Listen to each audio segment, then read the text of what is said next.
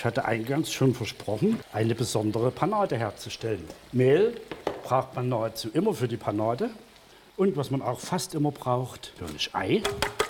Und es paniert sich immer leichter, wenn man an das Ei etwas Flüssigkeit zugibt, in dem Fall ungesüßte Sahne. Ei und Mehl, gut, nicht weiter verwunderlich. Aber ich habe da noch was Tolles. Hier eine Körnermischung.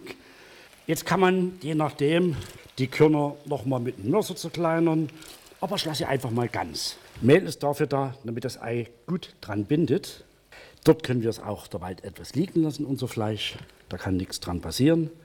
Und wenn dann die Pfanne soweit fertig vorgeheizt ist, wird es gebraten. Ah, gibt schon schön Farbe. Alle Gastgeber und Rezepte unter www.topfgucker-tv.de